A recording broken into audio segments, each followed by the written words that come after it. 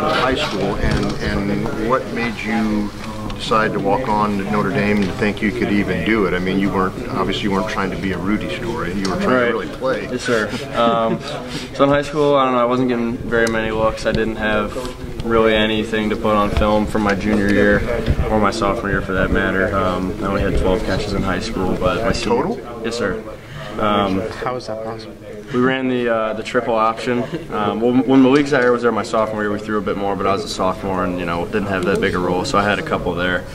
Um, but yeah, not not a big passing offense, so I had to find my way in uh, the return game is how I got some attention from coaches. But um, I didn't have any offers or anything. I would have some D3 schools come in to talk to me at school, and then um, some of my coaches in high school helped me out a lot with getting me in touch with some bigger schools. So I ended up getting some preferred walk-on looks at places like Miami, Ohio, and Pittsburgh and Wisconsin, and then ultimately here. Um, it really helped that my teammate Nick Coleman in high school, who's my teammate now, he was committed to Notre Dame, and Coach Kelly and Coach Elston, they came to see him um, at our school, and my uh, head football coach in high school introduced me to them, and um, coach offered me the opportunity to apply and walk on, and I did, and um, like you said, what what made me decide to do it is, um, you know, it's such a hard school to pass up, such a hard football program to pass up, and I had a lot of talks with my parents and my dad in particular, and just instilling that confidence in me that I could come here and, like you said, not just be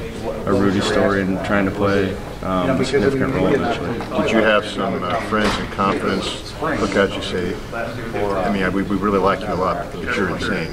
No, I've got I've got a great support group around me, and everybody's everybody's always been very excited for me, and, and they still would be even if even if things hadn't gone the way that they have now. Um, no, I've never never had any friends. I've had some people tell me, but not, not my friends. If you, if you, if you lined up with, with some of these other big receivers, you- you'd, you'd be the answer question, okay, you see all these guys lined up, which one does not belong? And, and, it, and it seems like if you, what, I guess, what advantages are you able to, uh, to generate your size? Well, I mean, I've always been an undersized guy, and I mean, I've just grown up having to work through that. So um, I would say my speed and quickness is something that helps me a lot, and um, I've always had to work, I think, a little harder to to be able to insert myself into roles, being um, the size that I am. But I don't see it as too much of a hindrance.